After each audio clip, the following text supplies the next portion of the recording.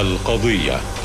بالدليل والبرهان القضية موضوع مطروح للبحث والدرس للتحقيق والتدقيق. القضية. بتفرقوا كمؤرخين بين الفتوحات الإسلامية وانتشار الإسلام؟ قطعا قطعا. هذا عمل عمل عسكري وهذا جانب حضاري. لكن كمسلم ألا تخشى التصاق العمل العسكري بالإسلام وأنه انتشر بالسيف مثلا؟ ما هذا هو ما يثار حول هذا الموضوع ودورنا في إن إحنا الرد والتفنيد هذه الفرية هل لنا الآن أن نقرأ التاريخ ونحاكم التاريخ بمنطق القرن الحادي والعشرين؟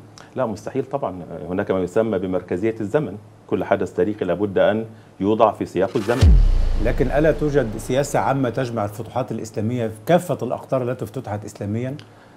لا مانع من دراسة الفتوحات الإسلامية بمراحلها المختلفة ولابد من التأكيد أن لكل مرحلة ظروفها ومل- وملابساتها وحيثياتها ودوافعها وعواملها ألا يعتبر هذا تشتت كما يقال ال- يعني آفة العلم التشريعي لا لا لا؟ لا آه، يعني نحن هنا ندرس الفتوحات بشكل آه، يعني رأسي وتعمق في الموضوع بدءا من بدايتها إلى نهايتها ما رأيك كمؤرخ نظرة حيادية لمن مثلا يقول أن الفتوحات الإسلامية إيجابية على طول الخط أو فيها بعض السلبيات تشوبها بعض لا لا غير صحيح طبعا. نحن نرفض يا دكتور محمد ما يسمى بالأحكام المسبقة أو القراءات المؤدلجة. لابد من إخضاع ال- الموضوع للبحث الدقيق من خلال يعني منطق الموضوعية والإنصاف والحيادية.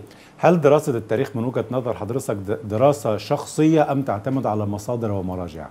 لا ليس هناك مؤرخ آه، يأتي من بنات أفكاره المؤرخ لابد أن تكون له مصادر يستقي منها معلومات وإلا لا يعد مؤرخا وفي النهاية ترجحون بعض الروايات الصحيحة والصحيحة بناء منها؟ بناء على الروايات والمعطيات التي تقدمها المصادر يمكن أن نرجح آه، لكن طبعا في النهاية يعني آه، القول القطع في الحقائق التاريخية يعد امرا آه، صعبا إن لم يكن مستحيلا يعني.